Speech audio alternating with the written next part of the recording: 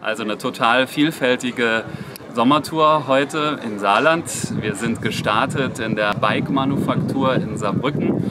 Das war für mich äh, eine sehr tolle Erfahrung, weil ich zum ersten Mal in meinem Leben auf einem Chopperbike gesessen habe, sehr bequem und noch dazu mit einem E-Antrieb und damit an der Saar entlang gefahren bin.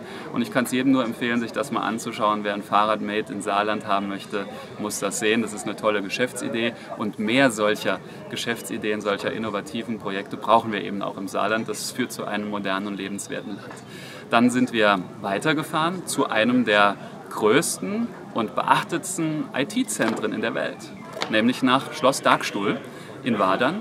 Das wissen viele Saarländerinnen und Saarländer nicht, dass hier Spitzenforschung Made in Saarland betrieben wird und dass das weltweit einer der größten Anziehungspunkte innerhalb der Informatik ist. Sehr, sehr interessant.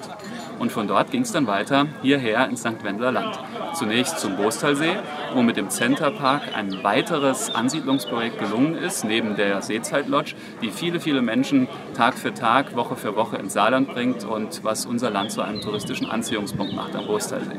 Und dann wurde es spannend und auch ein Stück weit anstrengend, denn ich habe mich hier mit einigen Laufgruppen aus dem Tolaer Raum getroffen und bin rund um den Schaumberg gejoggt und hinterher noch einen 400 Meter langen, aber sehr, sehr steilen Anstieg hoch auf das Schaumbergplateau, wo ich jetzt bin. Und nach einem kühlen, alkoholfreien Weizen geht es mir jetzt schon ein gutes Stück besser. Jetzt genieße ich noch ein bisschen das Gespräch mit den Menschen hier.